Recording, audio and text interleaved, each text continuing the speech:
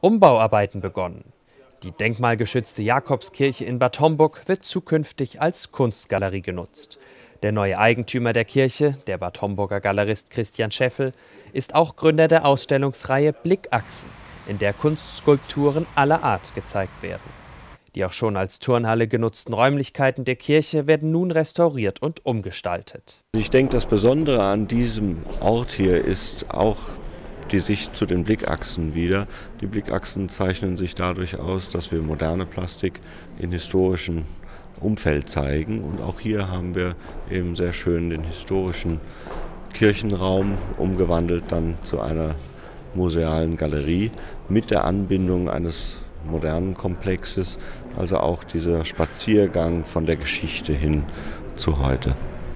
Durch die Höhe der Decken eigneten sich die Räume selbst für große Skulpturen, die andernfalls nur im Freien gezeigt werden könnten. Galerist Scheffel hat aber auch noch weitere Pläne zur Nutzung der Räumlichkeiten. Ja, ich kann mir hier in dem Raum besonders gut auch musikalische Veranstaltungen oder auch Lesungen vorstellen, Workshops für Kinder. Die Kinderblickachsen liegen mir sehr am Herzen.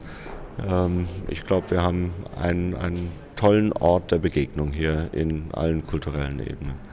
Wann die Umbauarbeiten an der Jakobskirche abgeschlossen sein werden, ist bislang noch nicht bekannt.